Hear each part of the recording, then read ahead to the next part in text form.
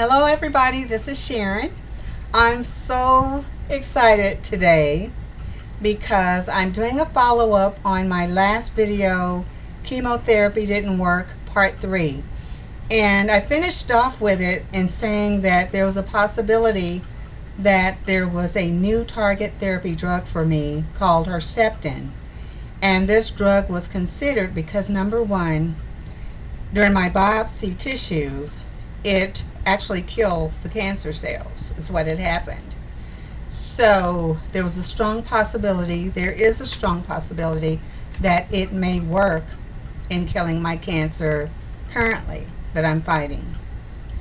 Another reason it works is because they found that my cancer cells have since mutated to a different type of cancer cell called HER2-neu. It's H-E-R, the number 2, and N-E-U. And they said I have a HER2-neu overexpression. They said that quite a bit, and I didn't understand what it meant. But long story short, because of that mutation in my cancer cells, it seems that this Herceptin, which is a drug typically utilized for breast cancer patients, may work for me. Now, I've always heard of that correlation between breast cancer patients and ovarian cancer patients. So now here I am, kind of making some of that a, a fact of sorts. Even though I still haven't wrapped my head completely around it. But I'm excited because I had my first treatment. We found a sponsor to help cover the cost of the chemo, which is very expensive. And I don't say chemo, it is not chemo. It is more like an immunotherapy type of treatment, but it is still considered a therapy treatment against cancer.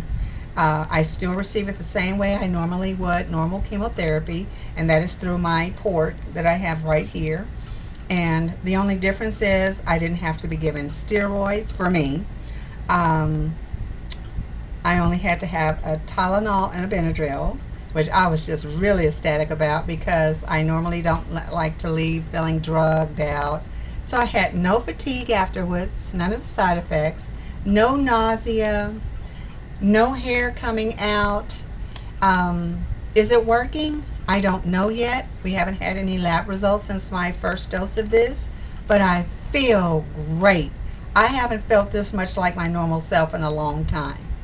But getting to the real serious point of all of this, I didn't understand. I meant to ask Dr. Smith when I saw her last, could she explain to me how that happened? What what is this HER2 new? And why is it so different? Why is it so odd to have it? So I looked it up a little bit and basically this is what it says because I use this a lot with me. It said the term HER2-neu and oncogene O-N-C-O-G-E-N overexpression means that your cancer cells carry a particular cancer-causing gene, oncogene. It is also being called HER2 positive. I've heard that a lot too. Overexpression means that the gene, this gene, is permanently switched on. So does that mean I my body type is predisposed to just almost inevitably I have to have cancer? Um, I, I have to ask her about some of that too. HER2-neu is a relatively recent discovery.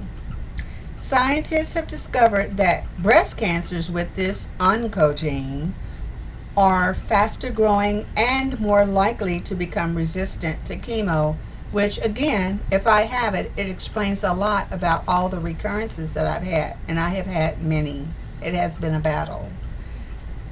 The Herceptin targets the HER2-neu oncogene. Herceptin is a type of monoclonal antibody, and this antibody this is an antibody that has been made in the laboratory that targets cells that carries the HER2-neu gene. That's what I found, but it made me understand. So basically, Herceptin is allowing, is using my own immune system. It's sort of boosting it to attack a specific type of cancer cell. And that's what is happening in my body. So it explained that when I had my initial, the only side effects I did have were initially at the first infusion, and they told me that I would probably have it, but that it would pass, and it did. And it was just like chills. It was just like, uh, you, you know, your teeth were just chattering. And uh, that lasted for a few minutes, and then eventually it passed. But it felt like I had the flu or I had a cold, and I was running a fever and fighting some illness. So it felt just like what this is probably doing to the cancer cells in my body.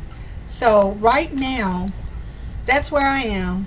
Don't know how well it's working or not, but this has been a long time since I felt this great. But I'm just trying to form a lot of you out there what is going on, what the HER2-neu gene meant, um, what, why the Herceptin is working. I had a lot of you ask me these questions, so I wanted to make sure I was armed with the correct information before I posted it to you. Plus, it was for me too. I needed to know as well what it meant for me. The only question I have now is this. A while back, I had a BRCA test. That's the test that determines if you are prone to have a mutation in your in your body, like uh, genetic mutations. Now, I don't know if it's just genetic mutations or uh, cancer cell related mutations. That I will find out too. But at the time I took it, it came up negative, like I had no mutation. So now my question is, so when did this mutation happen? Did it happen after I took the test? Which was about a year after I was first diagnosed, so it was fairly early on. And I need to find out what does that mean then because the BRCA test came up negative.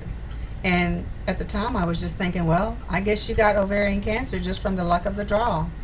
I don't know. But anyway, there you have it. I hope it's helping someone out there. Please, you have my channel. Continue to write questions. I love helping people. I've heard some really heartbreaking stories. It doesn't have to be that way. So that's why I'm here. I'm here to help. I have to help while I'm here on earth. And I think that's why I'm still here sometimes, is that I have to help people fight this horrible cancer and just hopefully save them uh, a lot of distress. If I can do that, then that's a good thing. So anyway, I've said enough. You all have a great day. Have a great weekend. I'm going to try to, and try to enjoy my decent appetite for a change. It's not steroid induced this time. So anyway, you all have a great day. Love you and take care. Bye-bye now.